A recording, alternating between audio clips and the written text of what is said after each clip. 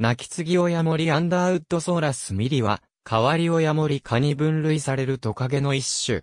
オーストラリア南岸に沿って、東西に広く分布する。比較的北方のピルバラ地域からも個体群が発見されているが、これは別種のアンダーウッドソーラスシールススダウティオリバー2011として分割されている。最大で全長15センチメートル前後。歯科白板はなく、壁面を登るようなことはできない。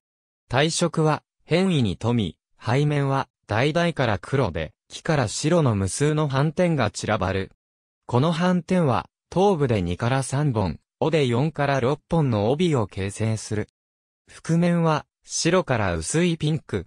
湿潤なヒース帯から乾燥した紅葉樹林、干木帯、岩石地帯に生息する。変わり親森科としてはかなり低温に強く、6月の夜間、気温摂氏9度の環境で活動していた例がある。夜行性。昼間は岩や倒木の下で休むが、爬虫類としては珍しく、集団を作ることが知られている。これは、本種が社会的動物であることを意味するものではなく、単に体温を維持するための行動だと考えられている。外敵に襲われた場合などは尾を揺らしながら上げ音を出して威嚇する。ありがとうございます。